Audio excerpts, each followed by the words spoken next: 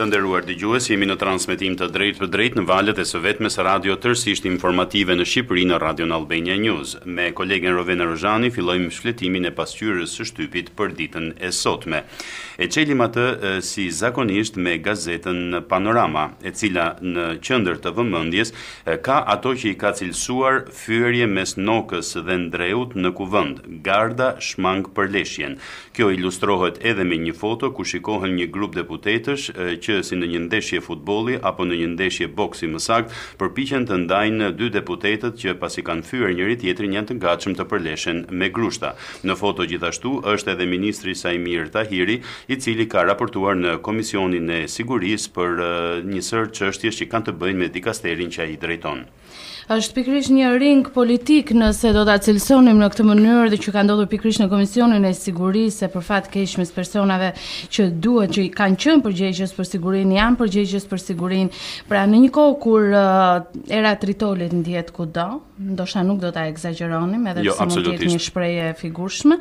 kur të gjithë uh, deputetët të çfarëdo lloj partie apo kostumi që të jenë duhet të, të bisedojnë dhe të shohin se si të ndalin uh, krimin ta pakësojnë apo ta ndalojnë, sa të kenë të kenë sa më shumë rezultate të efektshme kundrejt krimit për ta qetësuar disi jetën e, e njerëzve dhe qytetarëve në këtë kohë ofrojnë këto pamje ringu, të cilat duhet thënë që nuk janë aspak dinjitoze për të dyja palët. Uh, unë vazhdimisht kam menduar Rovena që në Shqipëri ka pasur ka dhe shpresoj që mos të ketë një krizë përfaqësimi. Në rast se janë këta deputetët, në rast në rast se janë këta përfaqësuesit e popullit dhe në rast se janë këta Ata që përdorin fjalë nga më vulgaret, të denja vetëm për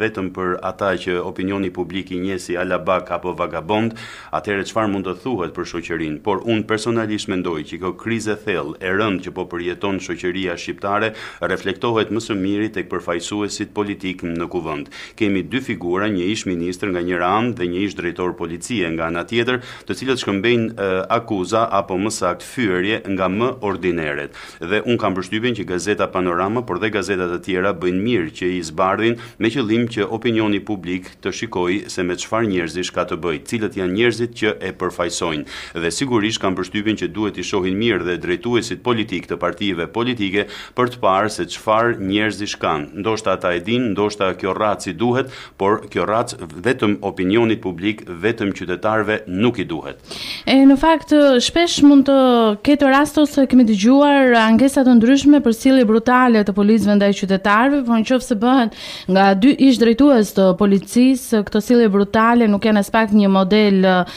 shembulli për efektivët më të thjeshtë të policisë, të cilët janë në kontakt me qytetarët dhe përpos faktit duhet theksuar që dihet që ka situata të tensionuara kudo në në qarqet politike apo në qarqet parlamentare, sekreti i një diplomati apo më saktë një politikani apo deputeti apo ish lideri drejtuesi është t'i moderojë, t'i drejtojë edhe të mos e lërë uh, veten që të bjerë viktime e zemëratës apo e momenteve të tensionuara. Në kuadrin e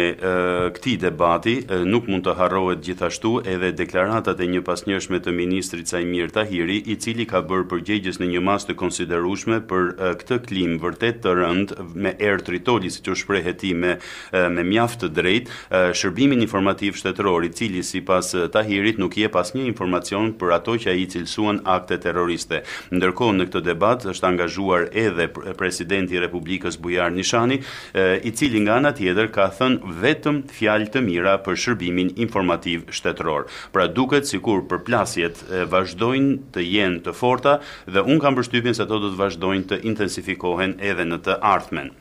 Mirë dhe duke qëndruar tek tritoli, do t'i referohemi lajmit më të fundit që vjen uh, pikërisht nga kronika e zezë, Tritol në banesën e tregtarit, policia arreston një 15 vjeçar shpërthimi në Shkodër dhe citohet ministri Tahiri uh, Që të ketë thënë se janë akte terroriste, pra SHISH nuk informon është pikërisht ajo pjesë që mm. ti e përmende. Franko dhe që me sa duket presidenti i Republikës, le të themi në thonjza ka bërë avokatin e SHISH-it duke Absolutisht, ai është shprehur se SHISH-i ka bërë një punë të shkëlqyer për prevenimin e akteve terroriste, por edhe për ndalimin e trafikut të drogës. Pra, kemi të bëjmë me situata vërtet të rënda. Në gazetën Panorama, në një titull tjetër të madh, nisin aplikimet, prona 13 milionë dollarë amerikanë për kompensimin. Kam përshtypjen që sado që duket shifër e konsiderueshme, ajo është aspak e mjaftueshme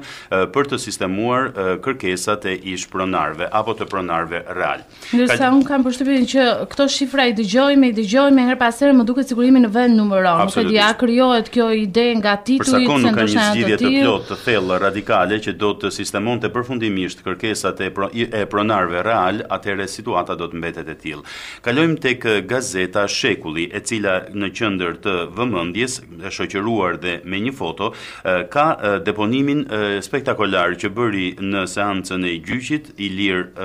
Kupa, i cili për të gjithë ata që nuk e njohin, është një nga të arratisurit shqiptarë nga burgu i Trikallës, i cili vetëm para dy-tre ditësh u arrestua nga policia e Tiranës dhe doli në burg dhe ai u shpreh, Nuk kam punë me policinë shqiptare, në Shqipëri nuk kam asnjë akuzë me të cilën mund të mbahem në burg me përjashtim të armëmbajtjes pa leje, ndërkohë që punën e kam me policinë dhe policët grekë. Ndërkohë nga ana tjetër, Gazeta Shekulli informon se Ilir Kupa është pyetur për katër orë me radhë nga hetuesit grekë,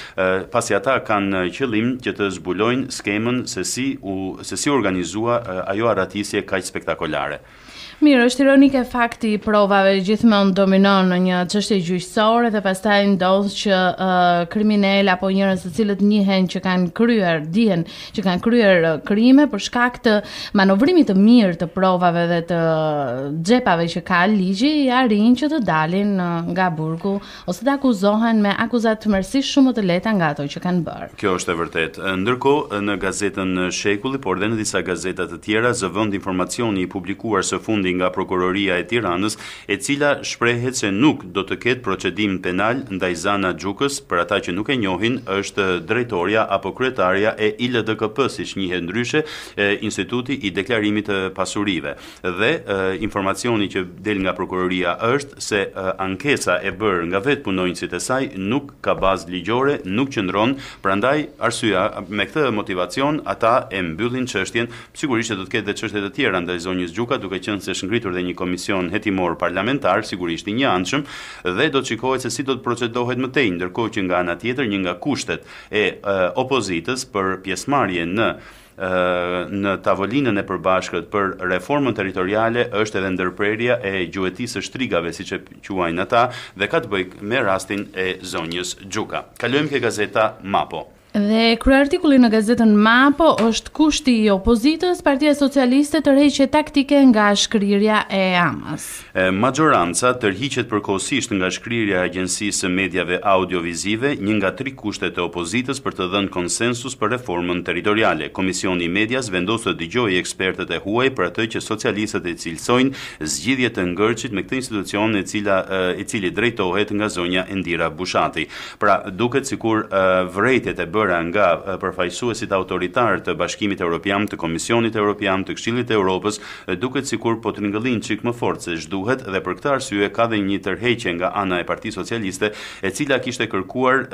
me çdo kusht shkrirjen e AMA-s apo riorganizimin e saj me synimin largimin e zonjës Bushati. Dhe për të qëndruar në politikë, ku duket që situata është me të vërtetë shumë e tensionuar dhe është reflektuar dhe në uh, organet e ndryshme të uh, të pushtetit, le të themi, nga niveli më i ulët deri në më të lartë, do t'i referohemi lajmit të konfliktit me presidentin Partia Socialiste i rrëzon emrat për gjykatën e lartë. Edhe kjo, te, edhe kjo çështje u bë një mollë sherri e pastër në grup në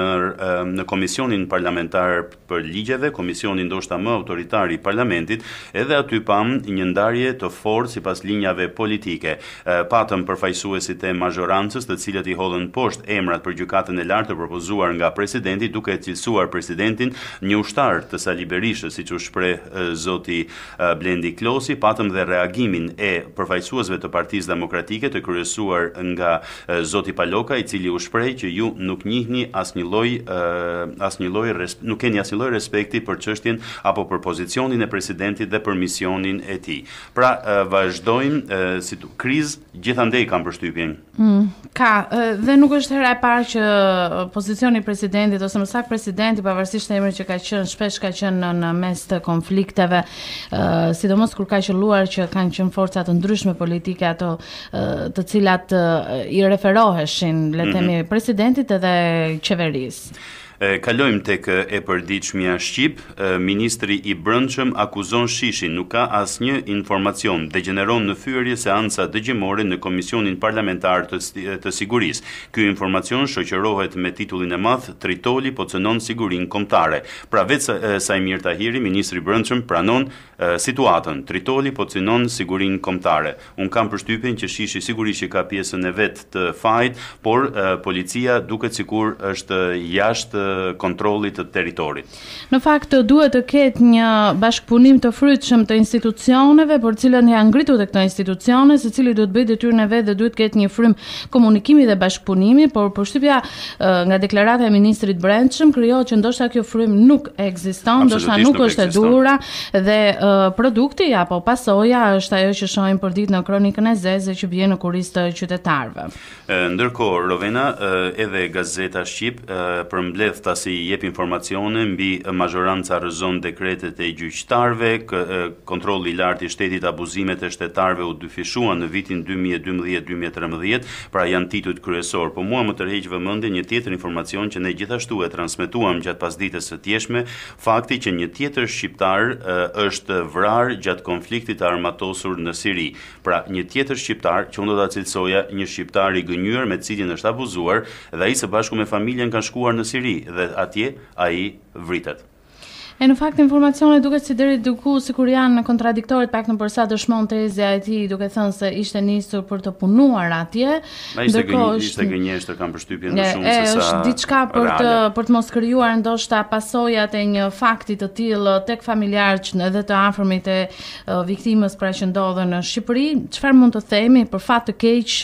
Nuk dihet se përse shqiptarët duhet të përfshihen në një konflikt që në fund të fundit nuk nuk i përket drejt për së drejti. Absolutisht. Unë doja t'i njoftoja dëgjuesit se menjëherë pas fleshit informativ të orës 8, ne do të kemi mundësi të dëgjojmë një ose më saktë të zhvillojmë një bisedë me zotin Klodian Shehi, i cili është nënkryetari i komunitetit mysliman të Shqipërisë dhe gjatë bisedës paraprake që zhvillova me të, Ai i cilëson ata të gënjyer, të mashtruar dhe, sipas tij, Al-Kaeda dhe organizata të tjera terroriste në mënyra dhe forma perfide arrijnë që të fusin fitilat te këta individë dhe më pas i rekrutojnë dhe ata shkojnë dhe luftojnë në një mision, siç u shpreh edhe ti, që nuk ka lidhje as me kombin dhe as me fenë, është shprehur Klodi Shehi, por i ftoj të gjithë dëgjuesit pas më shumë se gjashtë minutash të qëndrojnë me ne për të dëgjuar këtë bisedë vërtet interesante. Për të kaluar tek një tjetër gazetë e rëndësishme e shqiptarëve të Maqedonisë, e cila më tërhoqi vëmendjen sot. Gafa trashanike e kjo botohet në gazetën Lajm. Gafa trashanike e ministrit Erion Veliaj, në foto me Mijatoviçin. Ministri Veliaj ka hedhur në Facebook një foto me ish-futbollistin e njohur të përfaqësueses serbe, Predrag Mijatovic, i cili ka luajtur me Realin dhe Fiorentinën, është edhe një trajner përgjithësisht i suksesshëm, por gazeta nuk e ka te ky fakt. Gazeta e ka te fakti që Predrag Mijatovic gjatë periudhës që ka gjatë periudhës së luftës në Kosovë ka qenë një antishqiptar i tërbuar. Dhe gazeta nuk ia fal zotit Veliaj këtë fakt, nuk arrin ta shpjegojë gazeta se si Veliaj nuk ka informacion që po bën foto me një nga armiqtë e Kosovës. Kështu është shprehur gazeta. Mirë, ë fakti i të shkuarës në lidhje me Mijatovic është i pamohueshëm, por nëse ë pas këtij lajmi do të vinte një reagim i vetë Mijatovic, një reagim pendese për qëndrimin që ka pasur në të shkuarën, ndoshta do të kishte qenë në nuancë ose në kornizë më pozitive kjo foto. E, kjo është e vërtetë, por nga ana tjetër e, kemi parasysh faktin që opinioni e, përgjithësisht e, shqiptar, por e, shqiptarët e Maqedonisë dhe shqiptarët e Kosovës janë ende tej me, me plot të drejtë janë tej mase të ndjeshme ndaj e, figurave të veçanta të e, politikës apo të jetës publike serbe. Dhe kjo është arsyeja kam përshtypjen se përse ka një indinjatë kaq të madhe tek gazeta Lajm.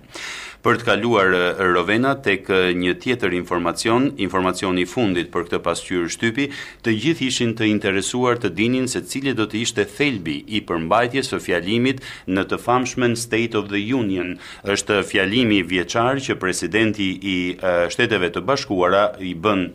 bën dhe që transmetohet në të gjitha rrjetet televizive dhe radiofonike, Këtë radhë Presidenti Obama premton veprime konkrete edhe duke anashkaluar kundërshtarët e tij qoftë në Senat qoftë në Kongres me qëllimin e vetëm luftimin e pabarazisë sociale. Një president i majtë. Eh, një president i majtë që flet për pabarazinë sociale që na çon domethënë në mendime të tjera në që e kemi artikuluar uh, në të shkuarën sidomos, ndoshta jo fiks në këtë mënyrë, po në terma të përafërta. Është e vërtetë. Uh, BBC-ja, rrjeti uh, i mirënjohur i informacionit global, shprehet se presidenti amerikan ka premtuar që të anashkalojë dhe kongresin e frakturuar, shprehet ajo, për të adresuar ashtu siç duhet padrejtësitë ekonomike dhe pabarazitë ekonomike. Ai është shprehur gjithashtu se ndoshta mund të punojë edhe pa legjislacionin e nevojshëm. Pra Presidenti Obama në këtë pjesë të fundit të mandatit të tij presidencial përpiqet me çdo kusht të lërë gjurmë duke luftuar pabarazinë që në fund të fundit është është përbën aksin e punës së çdo presidenti apo të çdo politikani dhe kryesisht në Shtetet e Bashkuara të Amerikës, por jo vetëm edhe në Europën e zhvilluar. E kur flasim për pabarazinë në Shtetet e Bashkuara të Amerikës, nuk di çfarë komentesh mund të bëjmë më tej. Edhe unë po e mbyll. Faleminderit Rovena, të nderuar dëgjues, ndoqët pasqyrën e shtypit për ditën e sotme, shkëputemi për një hapësirë publicitare dhe rikthehemi sërish në transmetim të drejtpërdrejtë.